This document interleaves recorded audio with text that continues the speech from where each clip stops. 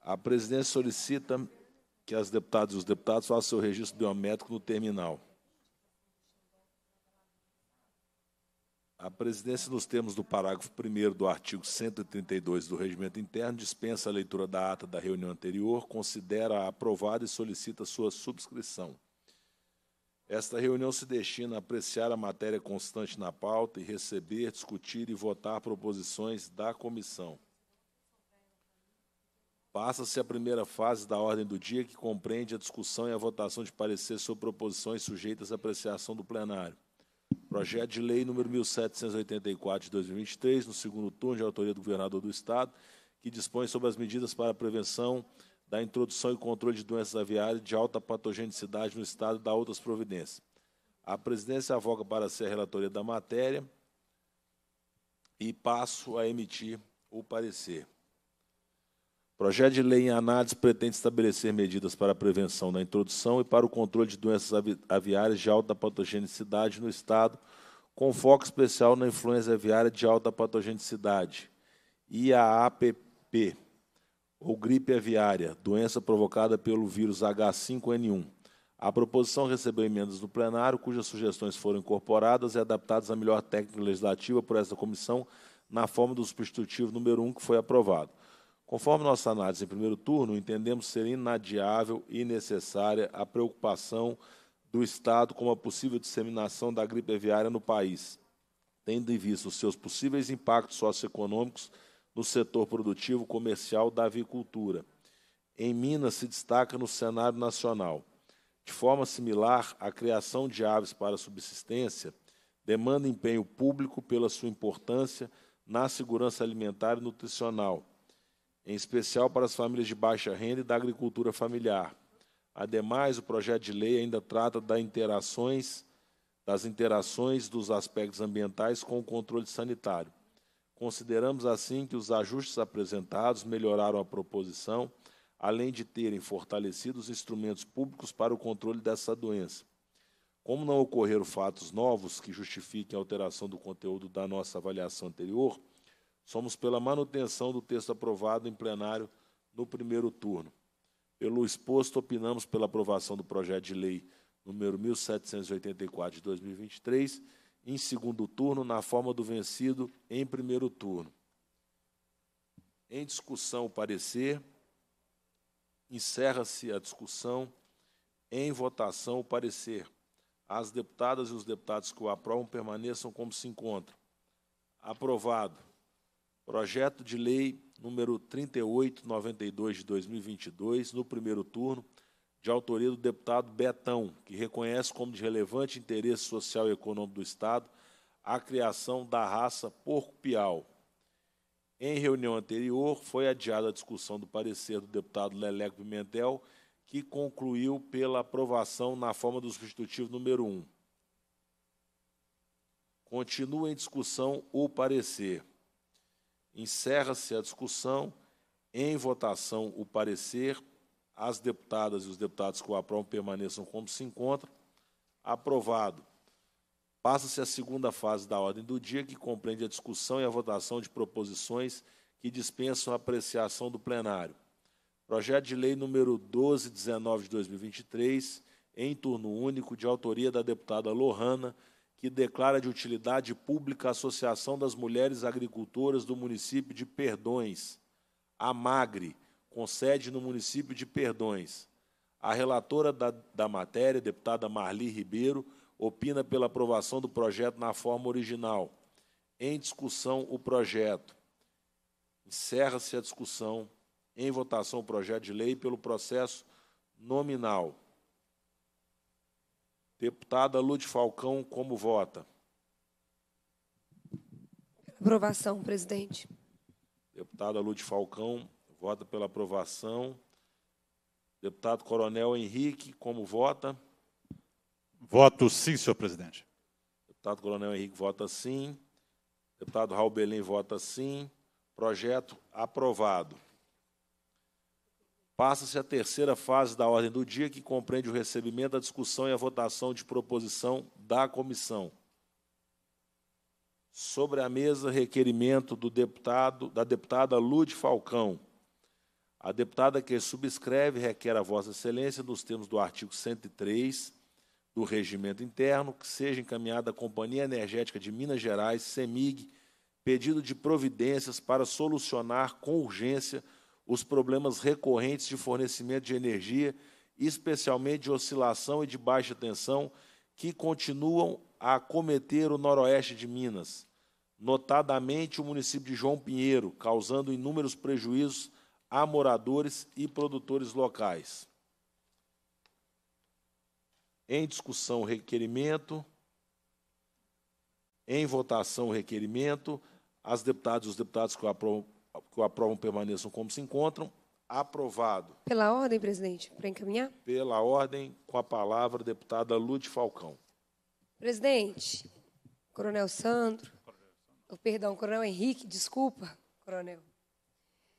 Importante salientar o que, que aconteceu esse final de semana na região noroeste, uma região que o senhor atua também, deputado Raul Belém, e que muitos produtores entraram em contato comigo através de fotos, através de vídeos, reclamando sobre, mais uma vez, a inoperância da CEMIC e a falta de respeito. Nós tivemos lá, salvo engano, há quatro meses atrás, onde nós fizemos uma audiência pública é, junto à Comissão de Minas e Energia.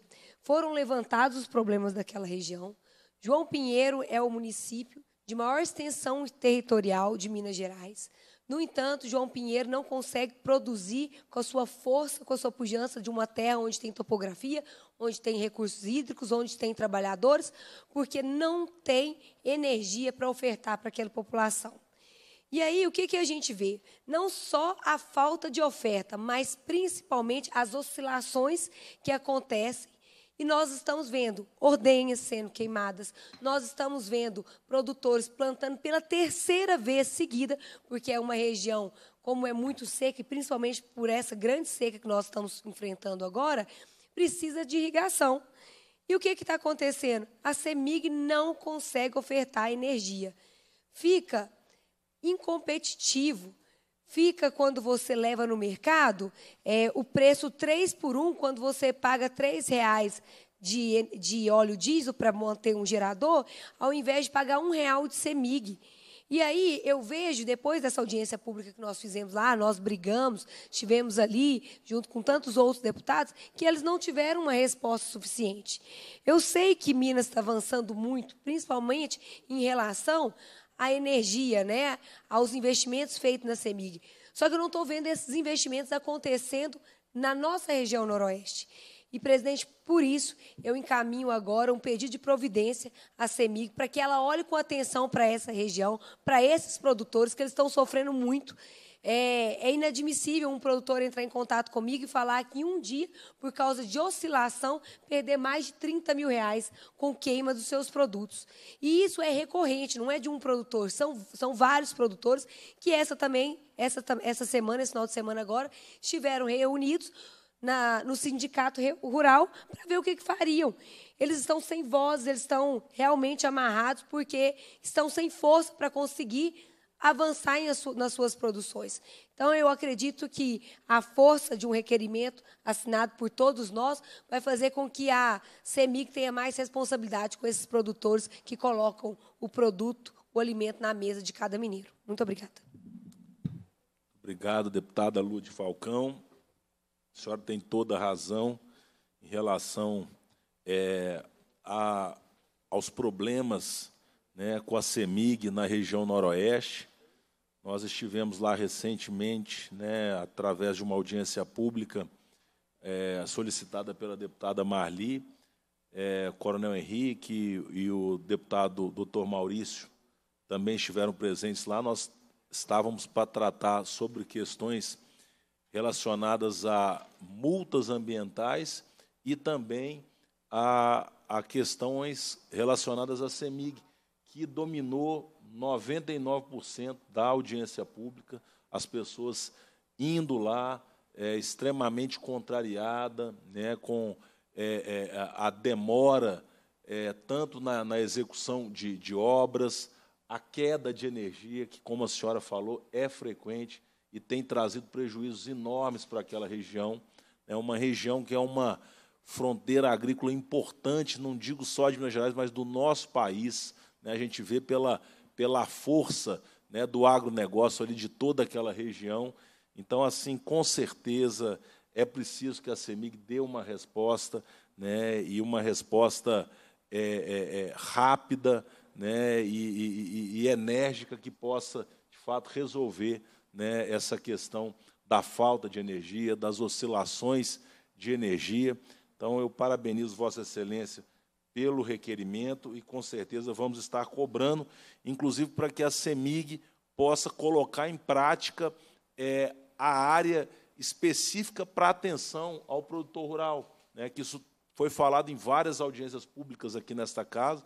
A CEMIG que estava disposta, estava pronta para montar um departamento próprio de atendimento ao produtor rural e, e, ainda não foi efetivado, né? que através deste requerimento de Vossa Excelência, que eles possam também agilizar esse processo para poder é, montar né, esse, esse, essa, essa área da CEMIG para fazer esse atendimento aos produtores rurais que não aguentam mais ter prejuízo em relação à falta de energia. Presidente, só para complementar a minha frase, quando o senhor estava falando aqui, eu abri é, a conversa aqui que eu, estive com, que eu tive com um dos produtores, chamado Guilherme Braga. Ele me passou aqui as fotos, depois eu vou passar para o senhor. Um motor queimado pela oscilação de energia, 17 mil reais. A chave que foi queimado, prejuízo de 30 mil reais. Sem contar a foto da lavoura de milho dele, que está seca porque não consegue fazer irrigação. Então, isso aqui, esse prejuízo dessa plantação de milho é algo incalculável. Então, é um respeito né, que nós estamos pedindo para que a CEMIG tenha com os nossos produtores. E eu tenho certeza que a nossa união fará com que a CEMIG olhe com mais atenção para quem produz alimento no nosso, na nossa Minas Gerais. Muito obrigado, deputada Lude. Suspendo a reunião para, para entendimento por dois minutos.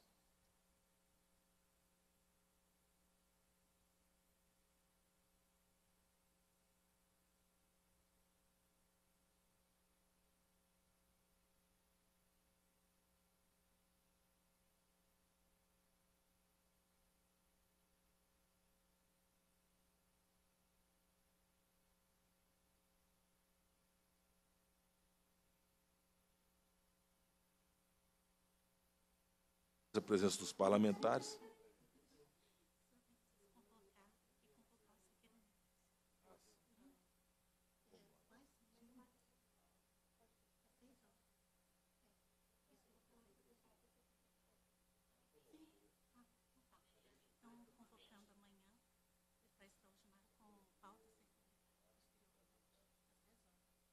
Convocamos os membros para a reunião de amanhã com a pauta a ser publicada.